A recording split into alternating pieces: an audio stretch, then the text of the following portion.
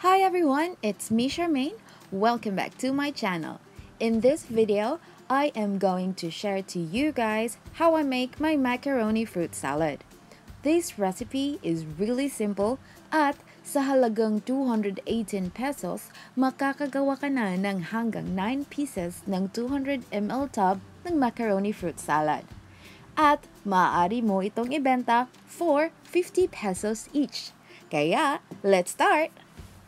Ang mga sangkap na ating gagamitin ay mayonnaise, elbow macaroni, today's mixed fruit, at condensed milk. First, lutuin muna natin ang ating macaroni according to the direction written at the back of the package and then let it cool. So, ito na ang macaroni. Nakalimutan kong i-video. And once the macaroni is cool, lagyan na natin ng condensed milk and mix well. After, i-add natin ang fruit cocktail at i-mix ulit. So, ang last nating i-add ay ang mayonnaise. At i-mix din natin ulit, again and again.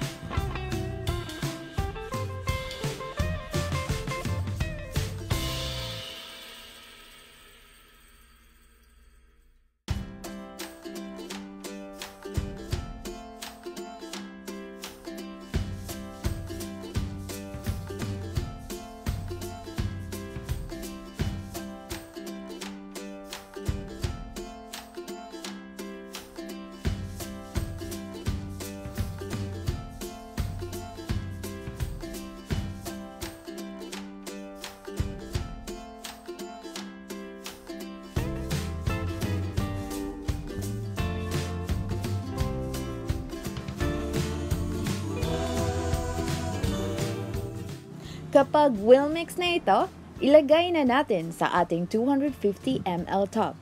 9 pieces ang nagawa ko. Ibinebenta ko ito for 50 pesos each at kumita ako ng 232 pesos.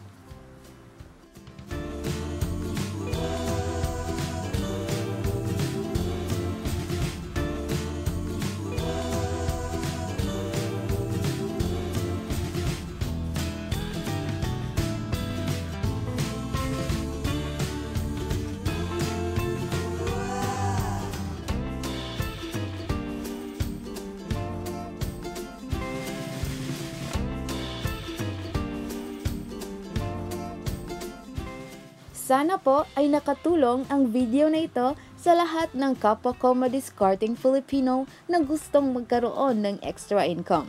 Kaya, don't forget to like, subscribe, and hit the notification bell for more Panigosho recipe. Thank you for watching. Bye!